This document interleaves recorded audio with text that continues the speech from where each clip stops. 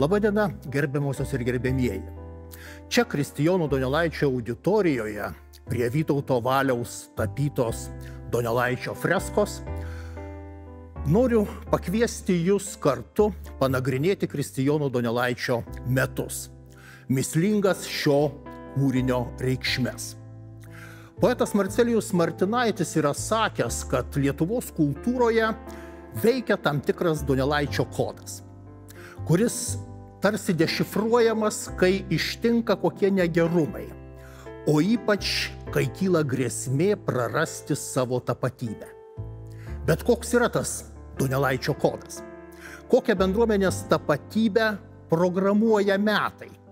18 amžiaus antrojoje pusėje prūsų Lietuvoje lietuviškai parašytas ir tik 1818 metais išleistas keistas valstietiškas mūsų epas. Donelaičio kūryba žadina visuomenės samoningumą ir savarankiškumą. Prieš šimtą metų teigia Sofija Kimantaitė Čiurlionienė. Donelaitis tai tautos pirmoji sumaningoji gesmė apie save ir savo. O svarbiausia tai tas pajautimas savo svarumo. Mes pamatas, mes branduolys, mes žemė vaisių gimdanti. Rašė Čiurlionienė 21, 1921 metais straipsnėje Mes ir mūsų žodis. Netiesa, prieštarauja rašytoja Kristina Sabaliauskaitė. Nesamoningumo, bet vergiško lietuvio tapatybę Donelaitis kūrė. Savo personažo Danieliaus Dalbos lūpomis Sabaliauskaitė mums aiškina, kaip gali nekelti problemos šito sušiktojo daskvernio batvinių Homero Ilijada žemės ūkio vergams. Su savo puikiuoju epilogu, su savo moto, savo firminę ištarmę vargsim, koks tautos epas, toks sumautas jos gyvenimas. Taigi, koks yra Donelaičio kodas? Kaip mes jį galėtume perskaityti? Kad jį suprastume šį Donelaičio kodą, mes turime leistis į 18 amžiaus Prūsijos karalystę, kur Donelaitis gyveno ir kūrė. Lietuvio poetą, lietuvių poetą subrandino ta pati intelektualinė karaliaučiaus universiteto aplinka, kuri davė pasauliui Immanuelį Kantą. Donelaitis buvo apšvietos intelektualas gerai išmanęs antikos filosofiją, antikinę ir savo meto literatūrą, išlikę vokiški jo eilėraščiai rodo, kad galėjo būti neblogas vokiečių poetas. Tačiau apsisprendė tapti geru lietuviu.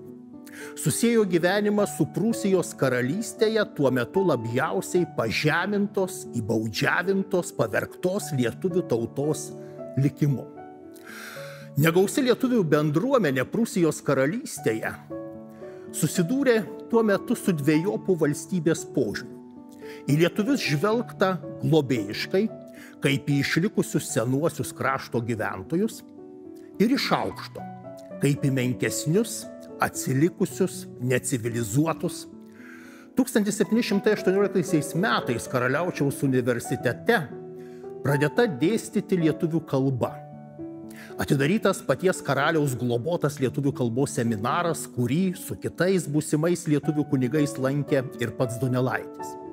Universiteto profesoriai rūpinosi lietuviškų religinių raštų rengimu, leidimu. Kita vertus, pats karalius Friedrichas Vilhelmas I vadino lietuvius vergų tauta - Ainės klevišą nacijoną. Ir taip aiškino savo sieki kolonizuoti lietuviškas žemės kuo daugiau vokiečių atvyks, tuo maloniau ir geriau. Jais reikia keisti lietuvius, kurie jokie šeimininkai. Karaliaus žodžiai. Krašto bažnyčių ir mokyklų inspektorius Karaliaučiaus universiteto profesorius Johanas Friedri... Heinrichas Lysijus 1719 metais ragino atsisakyti per brangios lietuviškų religinių knygų leidybos ir mokyti lietuvius naudotis gausiomis vokiškomis knygomis.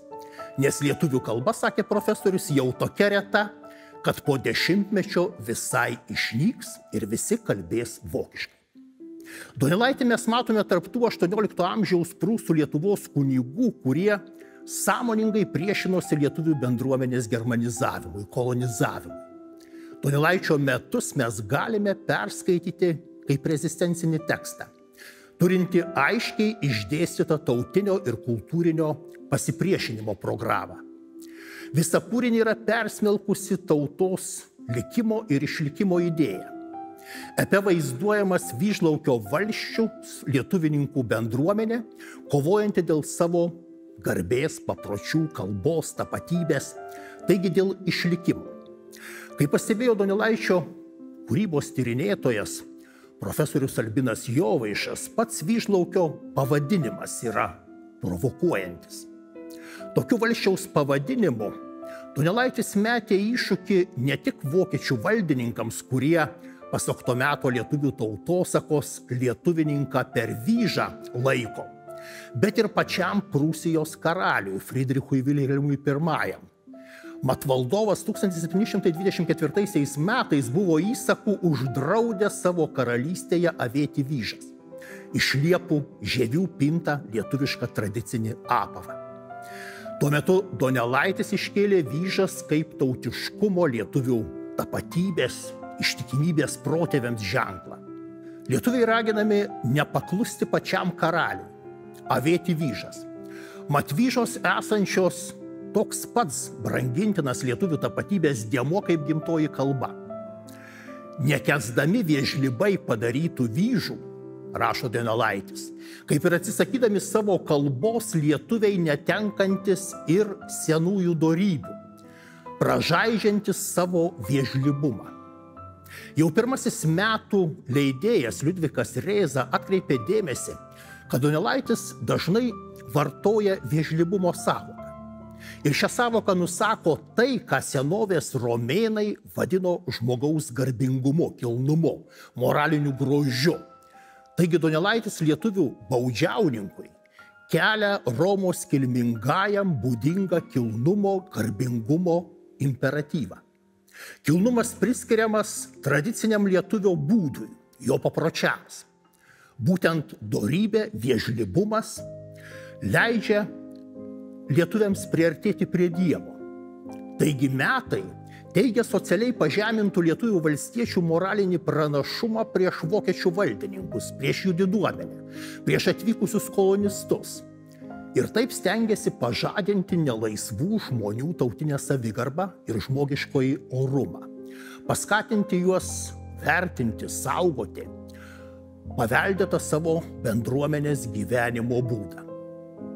Vokiečių valdininkų savivalė metuose ir Lietuvos kolonizavimas iškyla kaip blogis, su kuriuo Vyžlaukio lietuvininkai yra nelinkę susitaikyti.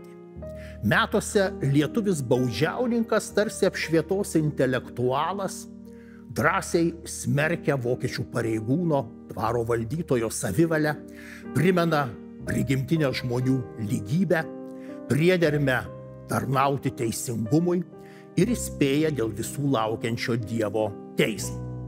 Lietuvių valstiečiai metuose iškeliami kaip senieji Prūsijos gyventojai. Lietuviams priklausanti šio krašto praeitis, barzdotos mūsų gadynės, lietuviškos gadinėlės, kadaise buvusios prūsose. Tai lietuvininkų tautinės bendruomenės laikas, kurį gyveno jų protėviai, kuris užduoda ir ateitį.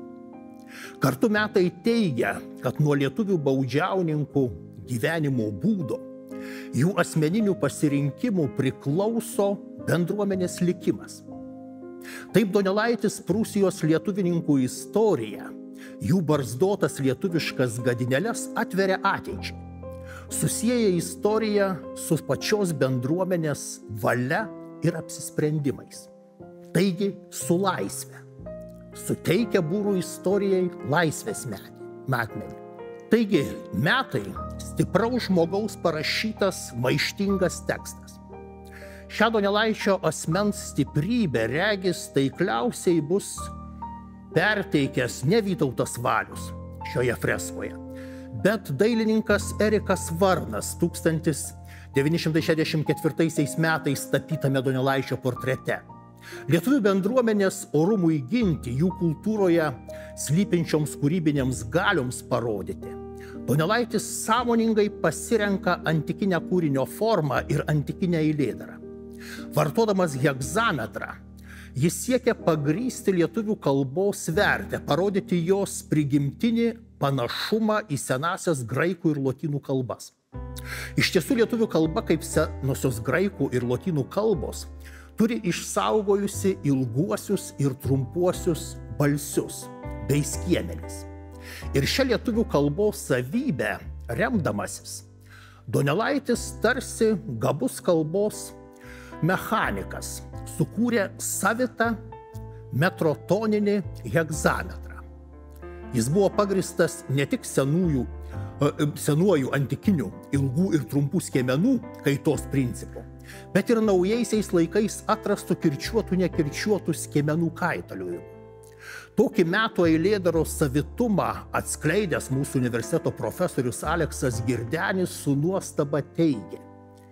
Poetas kiekvieną metų eilutę bus šlifavęs taip pat rūpestingai ir kantriai, kaip ir garsiuosius savo didinamuosius stiklus.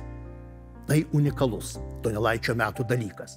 Donelaičio epas nėra tik pasakojimas apie vyžlaukių valstiečių gyvenimą. Jame, kaip ir Homero tekstuose, slypi tautinės bendruomenės kalbos, mąstymo, vaizduotės, dorinių nuostatų lobynas. Per šimtmečius kurtas tradicinis tautos pasaulis. Būtent šią metų ypatybę visų pirma pabrėžė juos Europos visuomeniai, e, Vokietijos intelektualiniam elitui pristatęs Liudvikas Rėza. Jo teigimu, Donelaičio kūrinys vaizduoja valstietį kaip visos lietuvių tautos reprezentantą atstovą. Išreiškia tautos būdą bei mąstyseną. Todėl šis epas turys lietuvių tautai išskirtinę klasikinę vertę ir tampas jai pavyzdiniu kūriniu, šedevru. Musterwerk für die Litauische Nation. Pritardami Reizai su Homeru Donelaitį lygino Simonas Daukantas, Maironis. Jau mūsų dienomis antikos kultūros tyrinėtoja kolegė Dalė Dilytė atskleidė, kad pasinaudoja senųjų graikų ir romėnų tradiciją metų autorius parašė tuometinėje Europos literatūroje dar nebūtą, neregėtą naujo tipo epą - didaktinio ir herojinio epų sintezę. Iš antikos epo Donelaitis perėmė herojų monologus bei dialogus, dorybės sampratą, vaizdingą žodyną, visumą apriepti siekiančius vaizdus, dialogų gausa liudyja, kad Lietuvių poetui kaip ir Homerui rūpėjo sukurti tarpusavio ryšiai sujungtos bendruomenės paveikslą. Pasak dalios dalytės metų herojai, nors nesikauna mūšio laukia, bet nuolat didvyriškai kovoja su dvaru ir kolonistais už savo papročius tapatybę, už savo išlikimą. Pasak dalios dalytės kaip ir troja, lietuvių bendruomenė turi išlikti, išsilaikyti svetimųjų apsuptyje. Taigi Donelaitis parašė savitą lietuvių tautos epą. Jo kūriniui būdingas visuotinumas, įkūnyta kolektyvinė bendruomenės išmintis, sąmonė. Metai tai bendruomenės pokalbis, tam tikra lietuvių krivulė, kurioje aptariami esminiai tautos gyvenimo dalykai - santykis su Dievu ir jo duota tvarka, požiūris į kitus ir į svetimus bendruomenės prigimtis, būdas, dorybės ir jų išsaugojimo rūpešiai. Pats metų pasakotojas kartu su paukščiais ir kitais gyvūnais yra šios krivulės narys, būrų pašnekesio dalyvis. Būtent herojų pokalbėje išriškėja kolektyvinis lietuvininkų tautos paveikslas, atsiskleidžia ir tragiška nykstančios tautos drama. Donelaičio epo savitumą lemia jo metafizinė plotmė. Metus mes galime skaityti kaip misticizmo persmelktą metafizinę poemą, kurioje žemiškoji žmogaus tikrovė vaizduojama kaip darnus Dievo sodas, kurioje atsiskleidžiamas žmogaus skirto pasaulio šventumas. Šioje tikrovėje menkiausi dalykai turi sakralumo žymę ir gali virsti stebuklais. Donelaičio citata. Iš menkų daiktų daug syk gyvai pasirodo, o iš mėšlo smirdinčio žegnonė pareina. Pasaulis jam žmogui būti rojumi duotas. Im ist die Welt zum Paradies gegeben, teigia Donelaitis vokiškai rašytame filosofinėme eilėraštyje O greit slenka laikai. Šeilutė gali būti tinkamas raktas visiems metams atrakinti. Donelaičio kūrinys iš tikrųjų išaukština viešpati ir jo į žemę leistų žmonės, gyvūnus, augalus. Jis tvirtina, kad pasaulis, nepaisant jo gyventojams tenkančių vargų bei rūpeščių, yra geras. Ir kviečia žmogų tokiu pasauliu džiaugtis, pasitikėti jo tvarka, kartu su visa kūrinyje dėkoti už pasaulį Dievui. Taip Donelaitis iš esmės ginčijasi su apšvietos kurtų pažangos mitu. Jo teigimu, žmogaus priedermė nepertvarkyti jam duotą pasaulį, bet jo grožį išvelgti, prie jo darnos pritapti, su darna susigyventi. Religinė šviesa metuose ištirpdo žmogaus gyvenimo prieštaravimus. Epe kuriame jauki mistiška žmogaus gamtos ir Dievo bendrystė. Gamta čia lyg darni simfonija, skambanti Dievo garbiai. Ji visada morali, išmintinga, teisinga. Su gamta sutapęs gamtai ištikimas žmogus bus taip pat moralus ir teisingas, nes būtent gamta ji priartinanti prie Dievo. Pasak Vytauto Kavolio metų, metų žmonės, metų žmonės į Dievą šaukia ne bažnyčių varpai, bet paukščių giesmės. Ne civilizacija, bet gamta. Donelaitis kviečia būrus stebėti laimingus kurieje gesmėmis šlovinančius paukščius ir sekti jais, mokytis iš jų pasitenkinti, pasikakinti duotų gyvenimu. Tu niekink žmogau, mokinkis čia pasikakint, kur tau kartais tropijas skupiai prisivalgyti. Į paukščius žiūrėk. Metų gamta yra intimi, suosmeninta. Paukščiai čia tamsoj būdėdami garbina Dievą. Sako išplėtotus monologus, sampratauja apie viešpatė sukurto pasaulio nuostabumą. Laukiniai gyvūnai užkalbina žmogų. Pats metų pasakotojas tarsi šventasis Pranciškus iš Asyžiaus. Šnekučiuojasi su lakštingala ir kitais paukšteliais, kalbina žiemos vėjus, kviečiasi juos į pagalbą Toks pat intimus, šiltas ryšys sieja žmogų ir kūrėją, kurį Donelaitis vadina sutvertoju. Donelaitis tapo skaidrų viežlyvų lietuvininkų ir Dievo sugyvenimo paveikslą.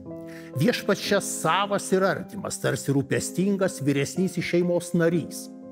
Su juo šnekučiuojamasi kaip su dangiškojų tėtučiu.